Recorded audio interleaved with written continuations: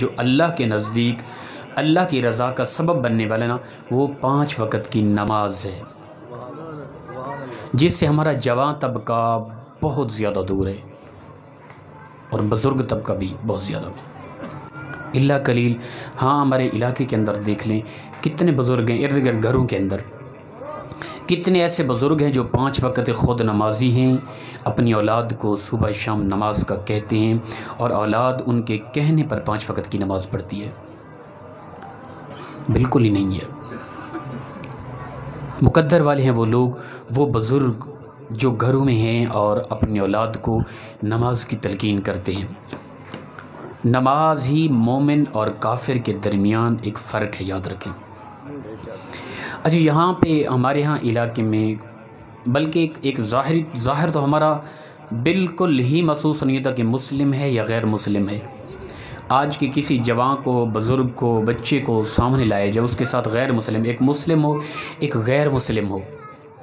ان دونوں کو سامنے کھڑا کیا جائے۔ بڑے عقل مند آدمی، بڑا ذہین ترین جو پنچایت میں فیصلے کرتا ہو یا وقت کا جج ہو، اس سے یا کوئی وقت کا عالم ہو، اس سے کہیں کہ بھئی تحقیق کرو، بتاؤ ان میں سے مسلم کون ہے، غیر مسلم کون؟ ہے خدا کی عزت کی قسم پتہ نہیں چلے گا۔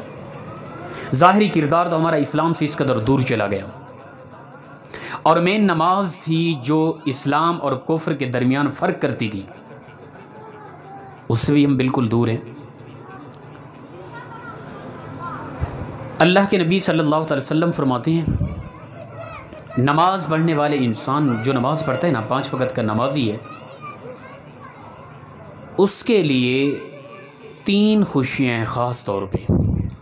وہ کون کون سی؟ فرمایا کہ جو نمازی آدمی ہے نا مرے گا قبر میں جاتے ہی نماز قبر میں نور بن کے آ جائے گی۔ اس کی قبر نور سے بھر جائے گی روشن ہو جائے گی اس کی قبر۔ اور اسی طرح میزان پر بھی اس کے جو نیکیاں ہوں گی نا، ان کا پلڑا نیکیوں کا بھاری ہو جائے گا نماز کی وجہ سے۔ اور معاشر کے دن، قیامت کے دن پروردگار اپنے عرش کا سایہ اسے نصیب فرمائے گا۔ ہم نماز بھی نہیں پڑھتے، قرآن کی تلاوت ہی نہیں کرتے، دین کی طرف متوجہ ہی نہیں ہے ہمارا سٹائل، ہمارا انطرز انداز، ہمارا، ہماری زندگی کا سارا ماحول بالکل یہود و نصارہ والا ہے۔ اور یہ حقیقت ہے۔ ہم دین سے کوسوں دور چلے گئے۔ دین کی لگن، دین کی چاہت، دین کی محبت ہمارے اندر ذوق بالکل ختم ہو چکا ہے۔ ایک وقت تھا، ایک دور تھا۔ وہ صحابہ کرام جن کو پروردگار کے محبوس وسلم نے دنیا میں جنت کی خوشخبریاں سنا دی تھی نا، انہیں علم بھی تھا کہ ہمارے لیے جنت ہے۔ وہ اس قدر روتے تھے، اللہ کے خوف میں گڑ گڑا کے، جہنم کے خوف میں۔ اور جنت کا عجیب ذوق تھا، ان کے اندر شوق تھا کہ حضرت عمر فاروق رضی اللہ تعالیٰ عنہ آپ تنکا اٹھاتے، چھوٹا سا۔ اپنے ہاتھ کی ہتھیلی پر رکھ کے دیکھتے اور کہتے ہیں، کاش کہ میں یہ تنکا ہوتا۔ مجھ سے معاشر کے دن، قیامت کے دن میری زندگی کے بارے پوچھا نہ جاتا۔ آپ فرماتے ہیں کہ میں جہنم کا اتنا خوف رکھتا ہوں کہ پروردگار اعلان کر دے کہ اے میری مخلوق، اے میرے بندو، صرف ایک آدمی ہے، اس کو میں جہنم میں پھینک دوں گا، باقی ساری مخلوق کو جنت عطا کر دوں گا۔ حضرت عمر فاروق فرماتے ہیں، میں اتنا ڈرتا ہوں اللہ کے خوف، اتنا میرے دل میں۔ میں سمجھوں گا شاید کہ جو ایک جہنم میں جانے والا ہے نا، وہ میں ہی نہ ہوں۔ حضرت عمر فاروق نبی اکرم صلی اللہ علیہ وسلم فرماتے ہیں، مسلم شریف کی روایت ہے۔ فرمایا کہ جنت کی مجھے سیر کرائی گئی، میں نے جنت میں ایک بہت بڑا محل دیکھا۔ خوبصورت تھا۔ اور میرا دل چاہ رہا تھا اس کے اندر میں جاؤں۔ میں نے اندر جھانک کے دیکھا جنت کی خوبصورت حور اس محل کے اندر وضو کر رہی تھی۔ بڑا ہی خوبصورت محل تھا۔ میرا دل چاہ رہا تھا میں اندر داخل ہو جاؤں۔ پھر میں نے پوچھا یہ کس کا محل ہے؟ مجھے کہا گیا یا رسول اللہ آپ کے صحابی حضرت عمر فاروق کا یہ محل ہے جنت کے اندر۔ یہ بات حضرت عمر فاروق بھی سامنے بیٹھ کے سن رہے تھے۔ اللہ کے نبی صلی اللہ علیہ وسلم فرماتے ہیں، پھر میں اندر داخل نہ ہوا، اس لیے کہ مجھے عمر سے حیا آ گئی۔ عمر کا یہ محل ہے۔ اسی وقت حضرت عمر فاروق گڑ گڑا کہ ایسا روئے فدا کا ابھی و امی، یا رسول اللہ، میرے ماں باپ آپ کے قدموں میں قربان ہو جائے، یا رسول اللہ۔ کیا عمر کبھی یہ سوچے گا کہ یا رسول اللہ، آپ میرے محل میں داخل ہو رہے ہیں؟ عمر بھی کبھی سوچنے والا ہے۔ نہیں یا رسول اللہ۔ تو اللہ کے نبی صلی اللہ علیہ وسلم نے جنہیں دنیا میں زندہ ہوتے ہوئے، دنیا میں بیٹھتے، اپنے قریب بیٹھے ہوئے جنت کے محلات بتا دیے، خوشخبریاں دے دی۔ وہ کہتے ہیں، ہم اللہ کا اتنا خوف رکھتے ہیں۔ اگر پروردگار کہہ دے کہ میں ایک انسان ایسا ہے جسے جہنم میں پھینک دوں گا، باقی ساری خلقت کو جنت عطا کروں گا، وہ عمر فاروق جنہیں دنیا میں اللہ کے محبوب نے جنت کی خوشخبریاں سنا دی، جنت کے محلات بتا دیے، وہ کہتے ہیں کہ میں اتنا خوف رکھتا ہوں، میں سمجھتا ہوں شاید کہ وہ جہنم میں جانے والا میں عمر ہی نہ ہو جا ہمارا انداز زندگی کیسا ہے؟ ہم کیسے جی رہے ہیں؟ ہمارا حسن اخلاق کیسا ہے؟ ہم کتنی حد تک نماز پڑھتے ہیں؟ اس نماز کے اندر کتنا ذوق ہوتا ہے؟ کتنا شوق ہوتا ہے؟ کتنا اللہ کی رضا ہوتی ہے؟ کتنا چاہت ہوتی ہے؟ ہمارا قریبی ہمسایوں کے ساتھ حسن اخلاق کیسا ہے؟ ہم ماں باپ کی کس قدر عزت کرتے ہیں؟ ہمارا دوستوں کے ساتھ کیسا محبت بھرا انداز کیسی انداز زندگی ہے ہمارا؟ کبھی بھی ہمیں رونا نہ آیا، کبھی میں نے اور آپ نے سوچا نہ کہ ان قریب ہم مر جائیں گے اور مرنے کے بعد پھر ہم سے پوچھا جائے گا، کیا جواب دیں گے؟ تو سب سے پہلا بہترین عمل پانچ وقت کی نماز ہے جو اللہ کے نزدیک سب سے بہترین عمل ہے۔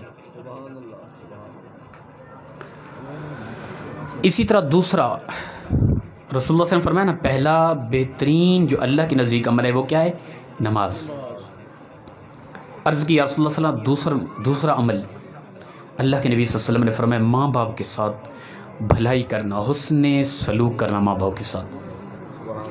کائنات کے اندر انسان کی جتنی بھی رشتے ہیں، جتنا بھی رشتے ہیں، دوستوں کے ہیں، چاچو ماموں ہے، وہ عورتوں کے ساتھ جتنا ماں ماں ہے، بہن ہے، بیوی ہے یعنی جتنا بھی رشتہ ہے ان میں سب سے زیادہ حسن اخلاق کا حقدار جو رشتہ ہے نا، وہ ماں باپ کا رشتہ ہے۔ آج کتنی مائیں ہیں جو اپنی اولاد کی بدتمیزی کی وجہ سے پریشان حال ہیں۔ ہمارے اندر کتنی ایسے جوان ہیں یا بزرگ ہیں جو اپنے ماں باپ کے ساتھ انتہائی حسن اخلاق کے ساتھ پیش آتے ہیں، بالکل نہیں ہے اللہ کے محبوب صلی اللہ علیہ وسلم فرماتے ہیں کہ جو بندہ مسکراتے ہوئے محبت بھرے انداز میں ایک مرتبہ ماں کے چہرے کا دیدار کرتا ہے نا، پروردگار اسے مقبول حج کا ثواب عطا فرما دیتا ہے۔ ہم نے تو کبھی محبت برے انداز میں مسکراتے ہوئے ماں کو دیکھا ہی نہیں ہوگا تقریباً۔ ہوں گے اچھے اچھے بھی ہوں گے، سب ایک طرح کے نہیں ہیں۔ اچھے بھی کئی ہوں گے جو بہت زیادہ ماں باپ کو عزت دیتے ہیں، پیار دیتے ہیں۔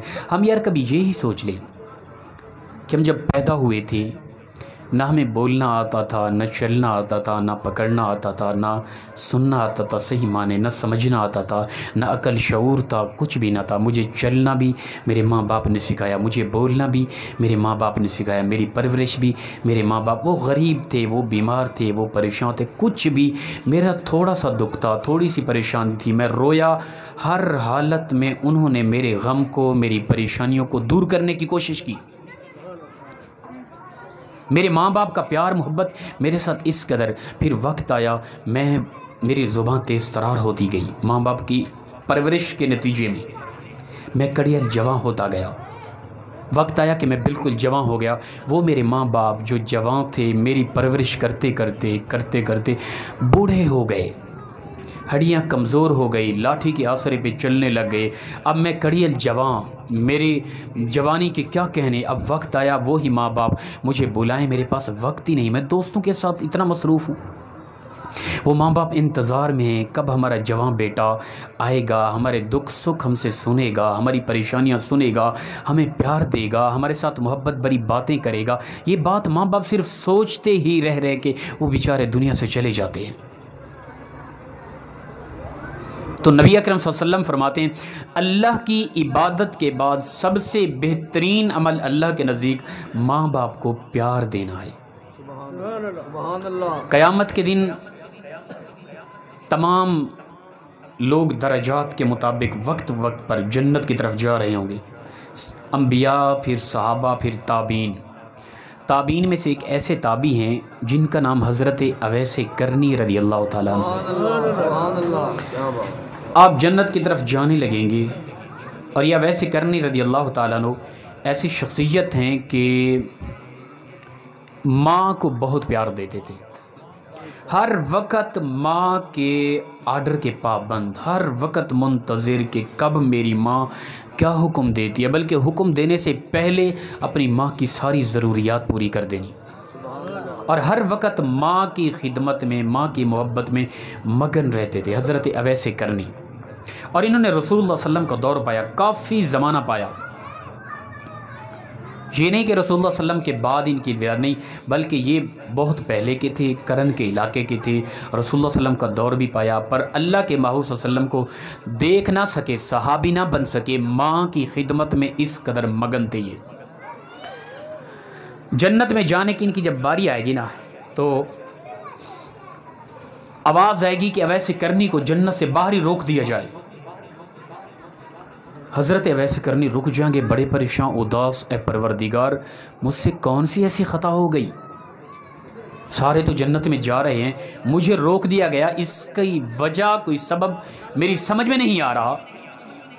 پروردگار سے آواز آئے گی، اے میرے بندے، اے اویس، اصل مسئلہ یہ ہے تو نے اپنی ماں کو اتنا پیار دیا تھا، ماں کے ساتھ اتنا بھلائی کی تھی، اتنا حسن اخلاق تھا تیرا کہ تیرا رب تجھ پر اس قدر راضی ہوا کہ دیکھ میرے محبوب کی امت کے لاکھوں کروڑوں لوگ جہنم کے اندر جل رہے ہیں۔ اے اویس، تیرا رب تجھے یہ عزت دیتا ہے کہ تو میرے محبوب کے ان کروڑوں جہنمیوں کی شفاعت کر ماں کی بھلائی کی وجہ سے، تیرا رب تیری شفاعت کی وجہ سے کروڑا جہنمیوں کو جہنم سے آزاد کر کے جنت میں اعلیٰ مقام عطا فرما دے گا۔ یہ ہے ماں کے ساتھ پیار کرنے کا سلہ انسان خود تو جنت میں جائے گا ہی جائے گا۔ ماں کے ساتھ پیار کرنے والا، پر پروردگار اسے یہ بھی عزت عطا کرے گا کہ اس کی شفاعت کے ذریعے کئی جہنمی جہنم سے آزاد ہو کے جنت میں چلے جائیں گے۔ ہمارا عجیب انداز ہوتا ہے ماں کے ساتھ۔ اللہ کے محبوب صلی اللہ علیہ وسلم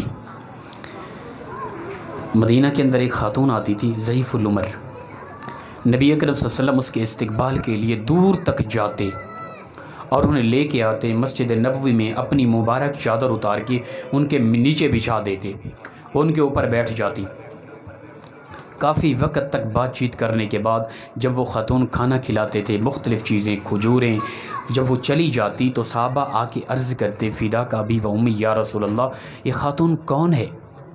جس کے پرانے غد و غبار سے بھرے ہوئے پاؤں ہوتے ہیں اور اس کی حالت بیزار ہوتی ہے، سفر کی تھکاوٹ ہوتی ہے۔ عجیب طرح کا پرانا لباس ہوتا ہے۔ ضعیف العمر خاتون ہے۔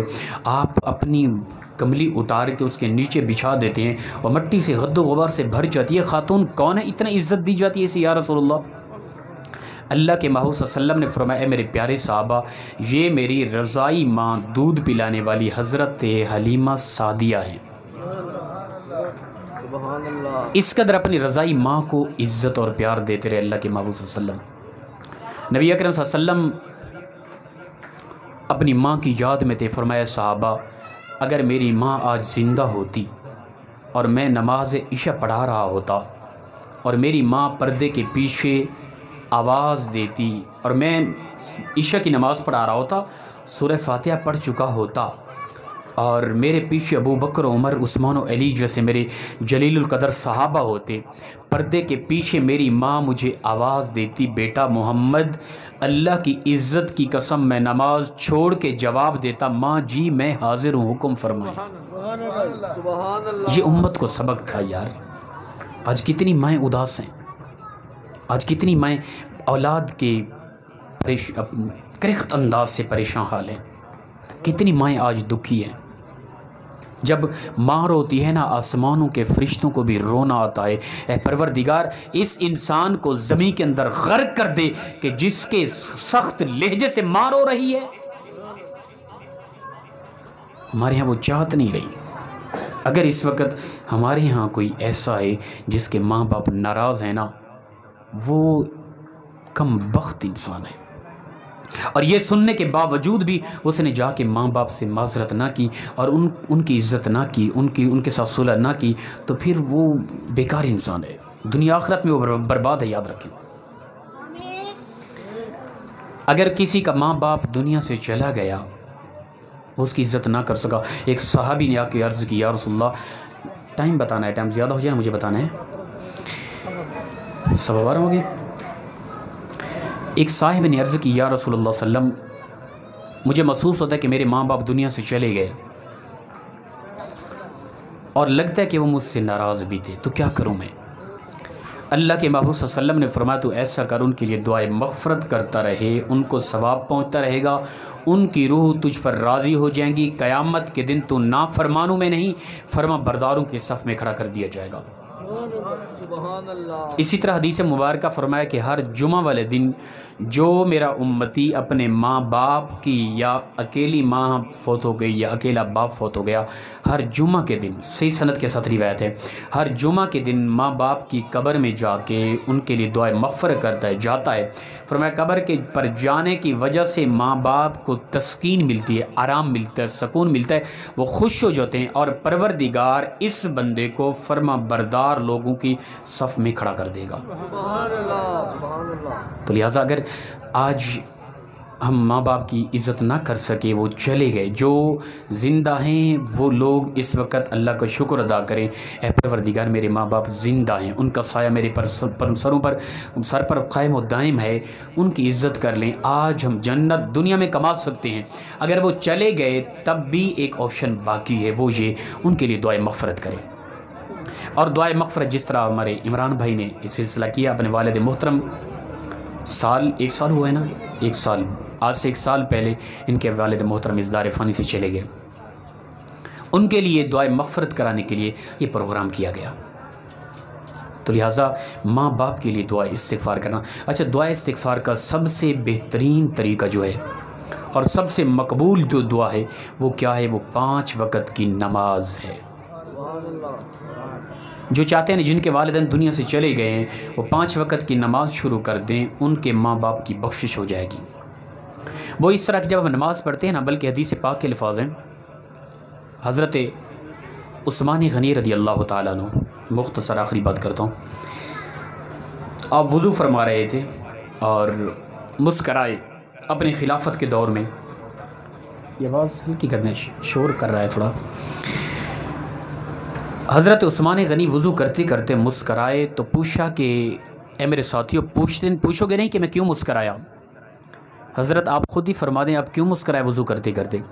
آپ نے فرمایا، دراصل بات یہ کہ یہی جگہ تھی، یہی وقت تھا، اسی طرح اللہ کے محبوب وضو فرما رہے تھے اور وضو کرتے کرتے نبی اکرم صلی اللہ علیہ وسلم کی ذات مبارکہ مسکرائی تھی۔ پھر صحابہ سے پوچھا ہے صحابہ، پوچھو گے نہیں میں کیوں مسکرایا؟ صاحب ہم نے عرض کی، یا رسول اللہ، آپ بیان فرما دیں، آپ کیوں مسکرائے؟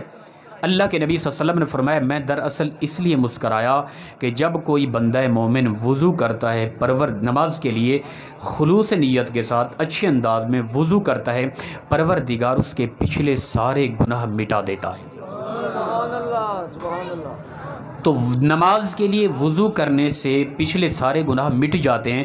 پھر جب انسان نماز پڑھتا ہے، انسان گناہوں سے پاک ہو جاتا ہے، وہ صاف اجلا ہو جاتا ہے، بالکل صاف ہو جاتا ہے۔ اللہ کا محبوب بندہ بن جاتا ہے۔ جب نماز کے آخری لمحات ہوتے ہیں، آخری دعا کیا ہوتی ہے؟ رب نغفلی والی والی دیا وضو کیا، گناہ سارے مٹ گئے، اللہ کا محبوب بن گیا۔ اور اللہ کے سب سے زیادہ قریب انسان نماز کی حالت میں ہوتا ہے۔ اب اس نے نماز پڑھی، اللہ کا سب سے زیادہ قریب ہو گیا، اللہ کا محبوب بندہ ہو گیا۔ اس وقت پروردگار فرشتوں کو، فرشتوں کے سامنے فخر کر کے کہہ رہا ہوتا ہے، اے میرے فرشتوں دیکھو، یہ میرا بندہ میرے ہاں آ کے جھک گیا۔ میں نے اس کے پچھلے سارے گناہ مٹا دیے۔ اب نماز ختم ہوئی، اللہ کا محبوب بندہ، اللہ کے قریب آخری الفاظ رب نغفلی والی والی دیا اے میرے پروردگار، میرے والدین کی مغفرت فرما۔ جب یہ لفظ کہتا ہے نماز کے اندر، پروردگار ان کے والدین کو جنت میں اعلیٰ مقام عطا فرما دیتا ہے۔ تو دعا کا سب سے بہترین طریقہ ماں باپ کے لیے پانچ وقت کی نماز ہے۔ وقت کی قلت ہے۔ تو بہرحال ہم نے کوشش کرنی ہے۔ تیسری آگے بات جہاد کے متعلق ہی پہلی فرمایا کہ پانچ وقت کی نماز سب سے بہترین عمل اللہ کے نزدیک۔ دوسرا، ماں باپ کے ساتھ حسن سلوک تیسری، جہاد۔ جہاد نہیں ہے ضروری کہ آپ جہاد کی کئی قسمیں ہیں۔ ہم نے ان دو چیزوں پہ عمل کرنا ہے۔ پانچ وقت کی نماز نہیں چھوڑنی۔ پڑھیں گے نا انشاءاللہ تعالی۔ جوان طبقہ، کب تک زندگی ہے یار؟ کب تک جئیں گے اس طرح کی زندگی؟ بےحودہ زندگی، بے حیائی والی زندگی ہمارے اندر کتنا ہے؟ ہمارے اندر بے حیائی، بے شرمی راسخ ہو گئی ہے۔ نماز کا پتہ ہی نہیں ہے، حیا کا پتہ ہی نہیں ہے، حسن اخلاق کا پتہ ہی نہیں ہے، ماں باپ کی عزت و وقار کا پتہ ہی نہیں ہے، بڑوں کے ادب کا پتہ ہی نہیں ہے، چھوٹوں پر شفقت کا پتہ ہی نہیں ہے۔ اولاد کی صحیح اسلام کے مزاج کے مطابق تربیت کا علم ہی نہیں ہے ہمیں۔ کیا زندگی ہمیں یار؟ اس طرح تو حیوانات بھی جیتے ہیں۔ صبح اٹھنا، روزی تلاش کرنا، کھانا پینا، سو جانا۔ یہ تو جانور کی زندگی بھی ہے۔ میں تو انسان ہونا میں بھی اس طرح جیوں تو میں اشرف المخلوقات کیوں کہلا رہا ہوں پھر؟ میں اشرف المخلوقات اس لیے ہوں، مجھے اللہ نے عقل دیا، شعور دیا، پہچان دی، عزت و وقار دی، پیار، محبت دیا، رشتہ داری دی، اور کئی رشتوں کے اندر میں پرویا ہوا ہوں۔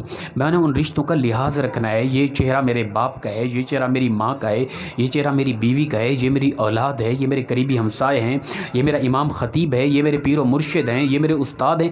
ہر ایک رشتے کے ساتھ کیسا لہجہ ہو، کیسا انداز ہو، کیسا اٹھنا بیٹھنا ہو، کیسی تمیز ہو، کیسا انداز ہو، پورے اصول اسلام نے بیان کر دیے۔ اگر ہم نے وہ اصول اپنا لیے، خدا کی عزت کی قسم دنیا اور آخرت کے اندر ہم کامیاب ہو جائیں گے۔ اللہ تعالیٰ ہم سب کو عمل کی توفیق عطا فرمائے۔ واخر دعوانا الحمدللہ رب العالمین۔ ختم پڑھیں۔